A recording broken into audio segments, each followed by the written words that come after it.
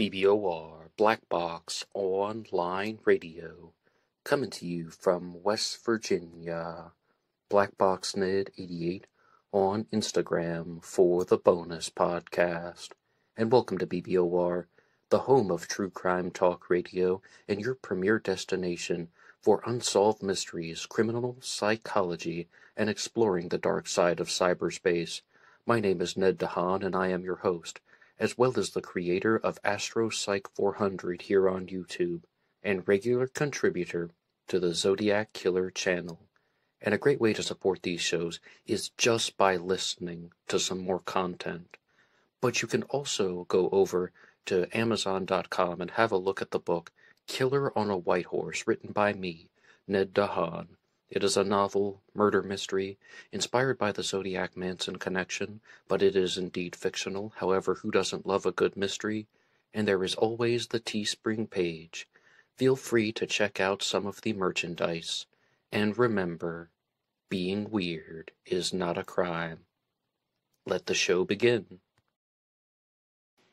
Alright, hello everybody. Today is Wednesday, and on Wednesdays this year I've been doing a regular segment about Jack the Ripper, perhaps the world's most famous unsolved murder mystery, and I would like to drop a couple of quick announcements and reminders before we truly begin. The first is that there will be a series of short episodes coming out on this channel, and they are going to be released indeed as YouTube shorts, one minute true crime book reviews, and I'm going to be starting with the Zodiac Killer books, but on the weekends I'm going to release a couple about the murder of JonBenét Ramsey from 1996, and one day I'm hoping to get to their books on Jack the Ripper, and of course there will be the regularly scheduled lineup Zodiac Monday, Ripper Wednesday, and of course the Anything Goes Friday segment. And in this episode, I would like to discuss one theory that I was familiar with in the past, and that is the idea that Jack the Ripper could have been a woman. This is often referred to as the Jill the Ripper theory, and more or less I only was able to share one sentence with you prior to recording this episode about the theory, and that is that some people believe that Jack the Ripper, the serial killer who operated in 1888 in England, was a woman because being a midwife would be an excuse about how someone would be able to be walking through the night or the early AM hours with blood all over her clothes and not attract any suspicion.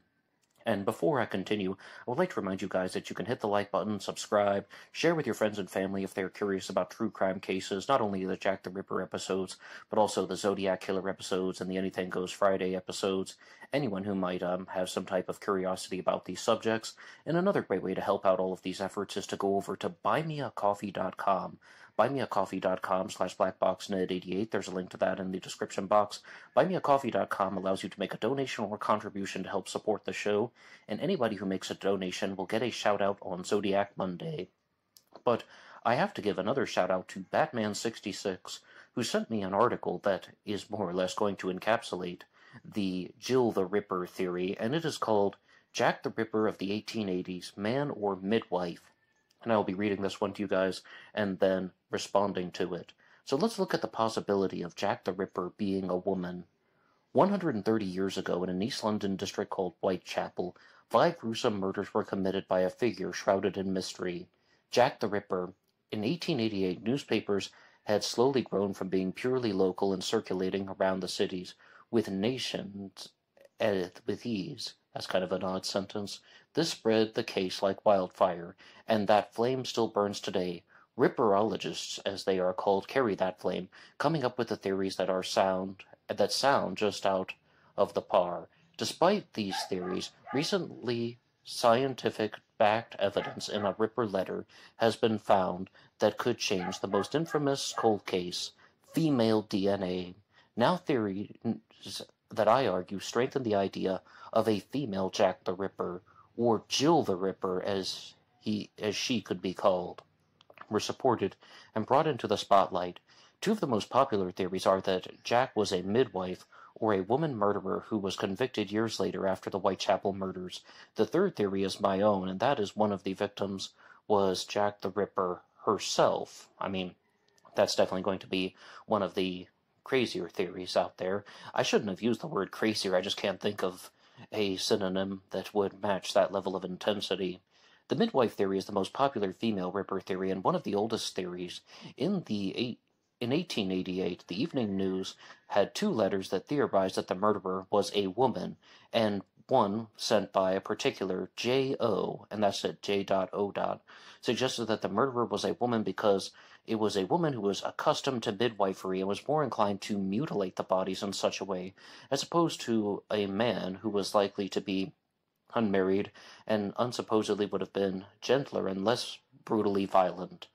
Well, that's definitely not the case. I mean, I know that I'm supposed to read this whole thing to you guys, but I have to jump in right there. As somebody who talks about a lot of true crime cases here on Black Box Online Radio, you will find stories dealing with both men and women where people are brutally stabbed, where bodies are mutilated. Men do this, and women do this. And that is not something that is completely specific to either gender, or even the whole concept of how female killers are more vicious than male killers. No, I mean, that everything is case by case. It's a case by case basis. You will hear people talk about how things like that, like a woman is more likely to stab a person multiple times. I'm not seeing those particular pieces of evidence when I look into true crime cases because you will encounter very frequent stories of male serial killers being torturers, killing by knife, stabbing victims multiple times, and not only serial killers, but also just mass murderers, so to speak. And we could go through a lot of them, and if anybody has any questions about that, you can put them in the comments section down below, as well as visiting some of the older episodes on Black Box Online Radio. Some examples of killers who stab, male killers who stabbed women multiple times. Richard Speck, who committed the South Chicago Massacre. He murdered eight women in one night by knife. Elliot Rodger, the Isla Vista shooter, also stabbed three of his roommates. He even stabbed one of them over 90 times. I mean, this whole thing about how women are just going to be more vicious with the knife it's not the case. Okay, though, so back to the article here and this is the theory that was supported at least partially by Dr. Thomas Bond, who provided professional advice during the initial investigation after Mary Jane Kelly's murder. Mary Kelly is, of course, the final confirmed victim of Jack the Ripper. He released a report, that, a report that listed all of his theories based on the previous murders and the examination of Kelly's body. His eighth listing claimed that the murderer had no scientific nor anatomical knowledge, and that they did not even have the technical knowledge that a butcher or animal slaughterer might have. While this seems to have no connection to J.O.'s statement and the midwife theory overall, midwives would indeed be expected to have a separate skill set with no knowledge of butchering or surgical procedures. And I did encounter this stuff in the past when I was reading the Mammoth Book of Jack the Ripper, and I did an episode about that in 2021 on um, some of the different theories in the Jack the Ripper case. And that is that there some people just insist that some of the victims were killed by somebody who had anatomical knowledge and other victims were not killed were killed by someone who did not have anatomical knowledge. And this is the foundation of multiple killers theories that exist um, very very frequently in the ripper world. They would however have had a basic knowledge of the uterus and lower organs. That's referring to the midwife. All were taken from the victims at one point or another. Well i don't believe that's true. I don't believe that um, the uterus or lower organs were taken from the victim, Liz Stride, allowing them to carve open the bodies and take the organs out as desired, and leave the crime scene in plenty of time to avoid discovery. C-sections were in use by doctors in 1888, though they were not successful, as successful as they were today for obvious reasons. In these cases, a doctor would call alongside the midwife to be present and allow them to observe the surgery. This would allow her to see how to cut a body open and to reach the uterus. So um, I think you can see where this um, person's going by saying that, okay, a midwife is somebody who's going to have knowledge of how the procedure is done from a superficial standpoint, but not having knowledge of how the internal workings of the body works. They've just observed the procedure, not actually participated in one. Of course, the big question is why. Why would a midwife decide to mutilate five women? There are different motives that I argue that are most probable. First, midwives are women that are either unable to have children or have many children. Well, I mean, is that is, is that really a rule? I mean, if it is the former, it is possible that she murdered the woman because they they were able to have children and decided not to have them at all despite that ability. Secondly, and going after the latter opinion, she might have murdered them since she had the option she since they had the option to have children, and a married woman at that time would not have a say when she would become pregnant or the option to choose how many children she might have. A prostitute like the victims could get an abortion and forego even getting pregnant. A third possible motive would be the slow but sure increase of male midwives since the early 17th century.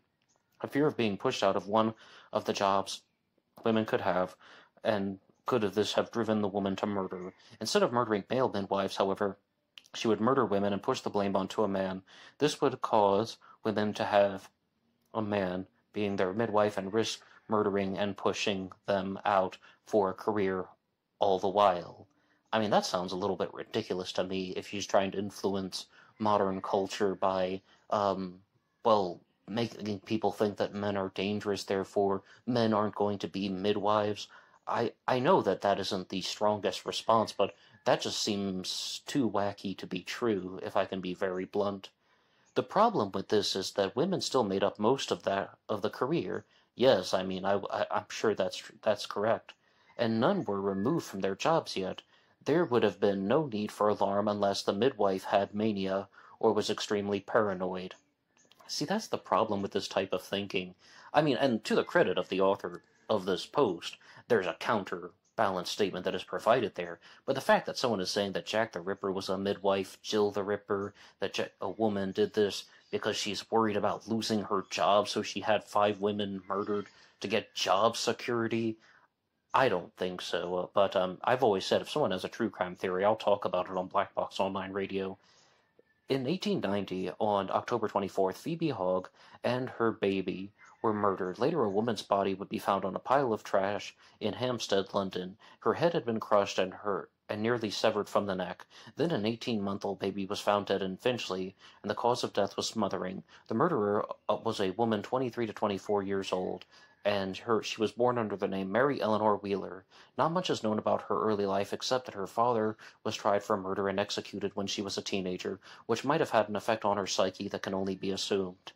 I also would suspect, just based, based on that very uh, small sentence, that there might have been some type of history of mental illness in her family, and not just um, experiencing a traumatic event of learning that her father was a murderer, but usually there is something hereditary in those particular situations.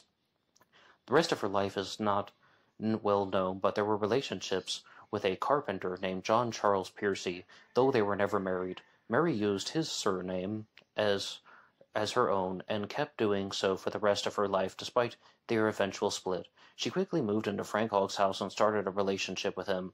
Both had many affairs, though their union was harmonious at least compared to her previous one. Soon, though, things started to go downhill. Hogg had gotten a woman known as Phoebe Styles pregnant and was planning on marrying her. At first, Mary did not take this well, though, af- though after talking, Hogg convinced that their sexual relationship would still continue, which kept her happy for a while.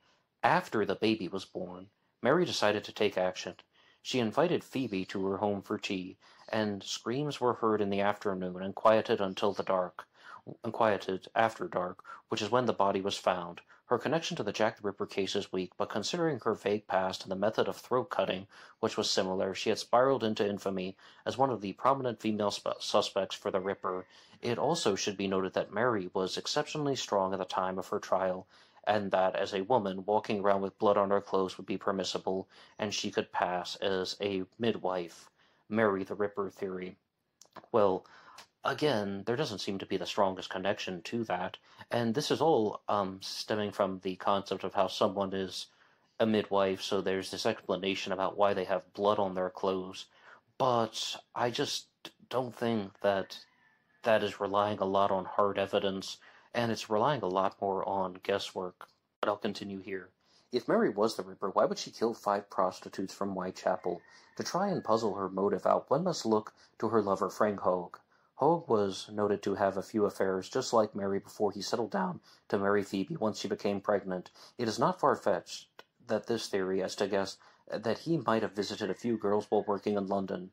Pearcey might have possessed some of the same fits of jealousy that she had with Phoebe and decided to get her competition. As was mentioned before, passing off as a midwife would have been easy, and many were freelance at the time and did not carry any sort of badge or papers to prove their line of work.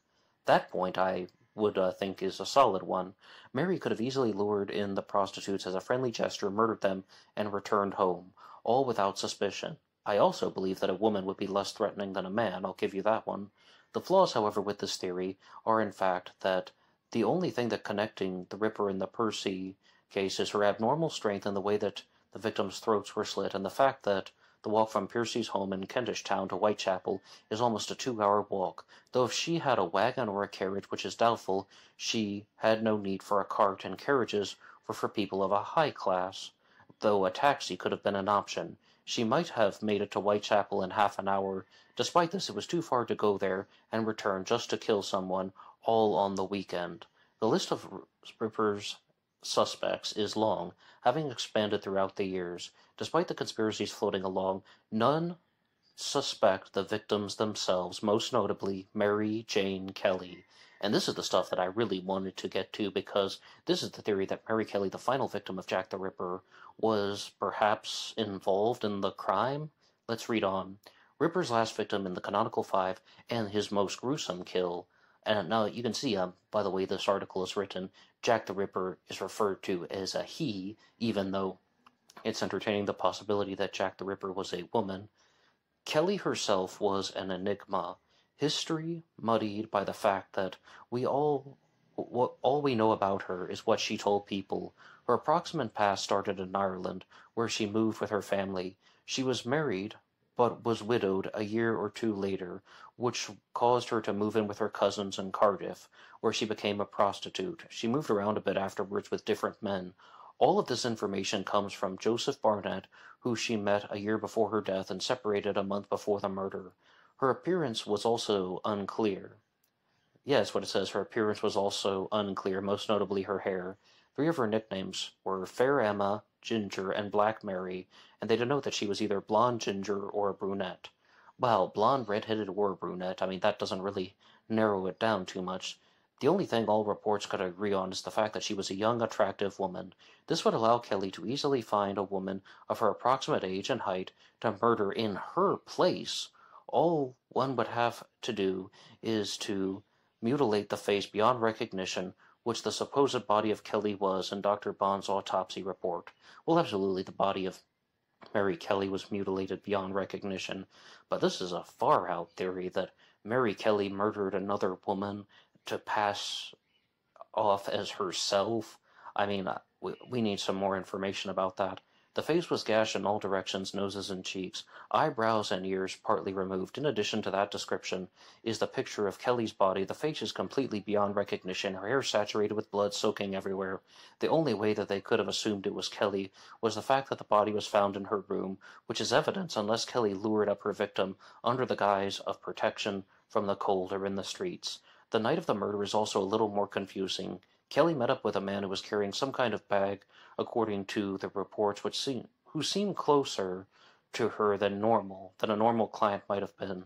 As he seemed to be joking around and offering her the use of a handkerchief, they went up to her bedroom, and that seemed to be the end of that. And that was the last time anyone other than that man would see Kelly alive, or so it seemed. Later that morning, around 8 or 10 a.m., two different people claimed to have seen Kelly wearing her favorite shawl and walking around the town before the body had been found. Later, two neighbors of Kelly reported that people were at the crime scene, or people were coming in and out of her apartment all night, which would not make sense. A murderer does not leave his crime scene, especially since he would be in the middle of carving out Kelly's body at the time. The only way this would make sense is if she were faking her death and luring in some innocent girl, mutilating her body so it was unrecognizable. Faking her death would allow her to slip out of London with no alarm and cover up any leads that could be traced back to her. I mean, I have so many questions about that. Firstly, this whole thing about how multiple people were coming in and out of Mary Kelly's room. There is a theory out there, which um, I have to give credit to Jay. He talks about this a lot in the comments section, about how Mary Kelly may have been having an affair with Prince Eddy, and that maybe she had gotten pregnant by a member of the royal family. Maybe they were even married in secret, and she was targeted specifically because of this, um, I guess, frowned upon relationship, and that the other women in the Jack the Ripper case were murdered in the whole theory of committing a series of unrelated murders to cover up the assassination of Mary Kelly, more or less. And I shouldn't use the word assassination, but she would have been the single target. And all of the other crimes, all of the things like the Jack the Ripper letters and so on, those are just distractions. When in reality, Mary Kelly was the only target, and it was done to protect the royal family. In that particular theory, I could understand why there would be men and women coming or there would be men coming in and out of Mary Kelly's room while somebody is carving up the body, as horrible and gruesome as that sounds. So, um, I just wanted to point out that that does not have to be the only possibility as to why Mary Kelly was murdered. I can also share some things with you that are based purely on my gut instinct. And I know that's not the best way to solve a true crime case, but when there's the story of how there's a woman walking around in Mary Kelly's favorite shawl, and she's witnessed by two people. Did that really happen? My gut instinct tells me no. My gut instinct tells me that it was Mary Kelly who was actually murdered, and that was just either a different woman or that that story is untrue for some particular reason. But this article is going to continue onward by say by by asking us a particular question that I think is more important than anything I've discussed so far, and I'll read this next line in the article. The real question, of course, is why? Yes, absolutely. That's what I was wondering. I mean, why would somebody such as Mary Kelly, again, I mean, Mar- Mary Kelly from the Jack the Ripper mystery, have multiple women murdered and then fake her own death by murdering an innocent woman and mutilating her body beyond recognition? I mean, why?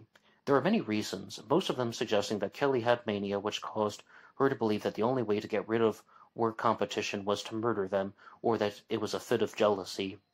I mean, that's a pretty nasty fit of jealousy to just murder people and mutilate their bodies. I mean, wow. I mean, talk about green with envy, green eyed jealousy to the nth degree.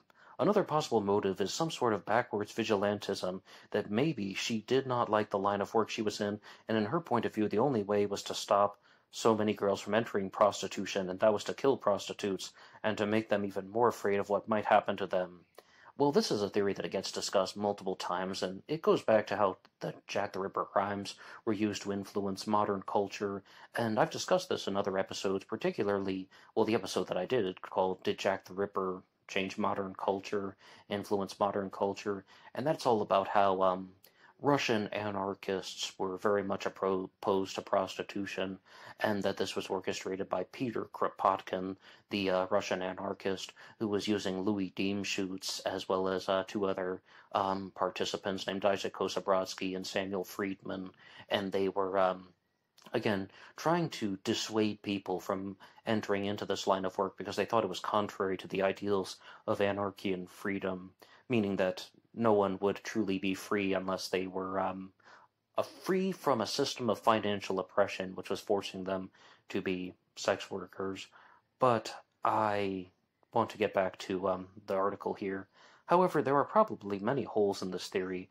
It is not deeply researched as one would hope, and there is only limited access to resources on the actual case that are available on the internet. And the fact that after over 100 years since the case has been closed officially, the theory is far out, and it could be that Jack the Ripper just exhausted himself, herself, or themselves on Kelly and finally decided to stop killing.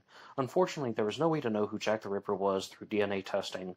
We grew one step closer, but not quite. These theories might hold some truth in them, at least in some way, shape, or form. Despite the fact that this case might never be solved, it is still fascinating to view the psyche of other people through modern day lenses and to watch people come up with their own theories. And I would like to cite some sources that are written down here. One more time, the name of this article is Jack the Ripper of the 1880s, Man or Midwife, and some of the sources for this are Paul Begg and John Bennett, and um, they're there are a couple pieces that they have called Bits of Bodies Turning Up Here and There in the Jack the Ripper Forgotten Volumes, and another one is called Jack Strikes, also by Paul Begg and John Bennett. Now, as far as the theory goes, with Mary Kelly staging the murders and Mary Kelly faking her own death, I think that that is purely relying on mental gymnastics. Imagination is a better term than mental gymnastics for the reason that, I mean, where on earth would be the evidence to support that?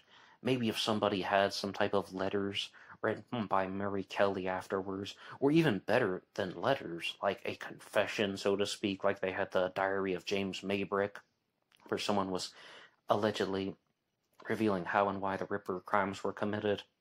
But has that stuff been uncovered? I don't believe so. And this whole notion of how Mary Kelly would have murdered other women because of fits of mania, the fits of mania part I can understand. And in fact, I think that that might be the strongest point in the entire article when that person is saying that Jack the Ripper must have had some type of maniacal issue that is driving him or her to commit these crimes. Like, this isn't just somebody who's trying to carry out an agenda, to trying to persuade people, to try and influence modern culture, to try and protect somebody's job, to try and protect somebody's reputation. No. This person was very deranged, deranged, maniacal, and showing a certain indifference to human life. Okay, that point I have been persuaded on. But I also have to look at the more famous Jill the Ripper theory involving the midwife, and saying that a woman is a person who is um only going to uh well a woman is a person who would have blood on her clothing and she wouldn't have attracted a lot of suspicion. She would have a very clear explanation.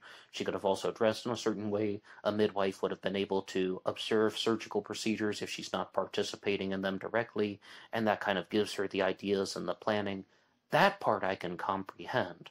I'm not 100% convinced, but at the very least, I think that that is somewhat of a more well constructed narrative. I did take exception, though, to the whole concept of how women are more vicious than male killers, or that a man is going to be more gentler with the be gentler with the victims. No, I don't. I don't think so. I mean, male killers are vicious, female killers are vicious. Full stop. And it's all person relative. Each person is going to have a different reason for doing what they are doing. And I would definitely like to look into some to these crimes a little bit more uh, for some uh, future episodes here on Black Box Online Radio, some of the other murders of the um, 1800s, and look for some parallels or just for looking at um, the stories of the victims, of course, because I definitely explore those uh, types of cases, especially for the Anything Goes Friday segment. But what do you think about the Jill the Ripper theory?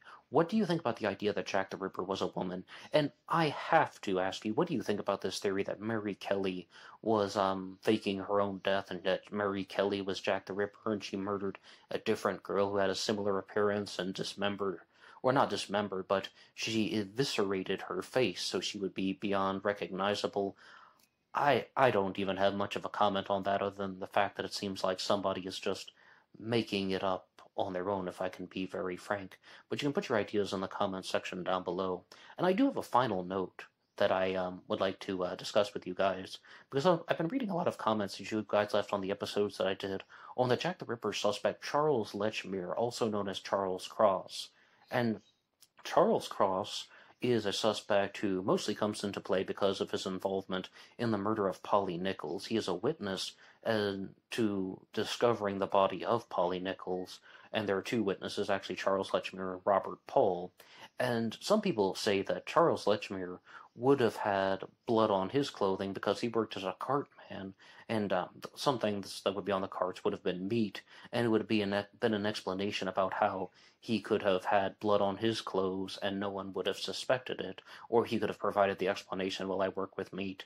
And giving a shout out to Jay once again, who provided a rather interesting response to that in the comments section by saying that Lechmere um, was supposedly have come to have committed the crimes while he was going to work, not coming home from work. So why would he have had blood on his clothing going to work? I mean, how on earth would that be able to have um, been an explanation? And this is mostly true when you watch the House of Lechmere video series on YouTube. They say very clearly that the crimes were committed along his walking path to work based on the times in which they were committed.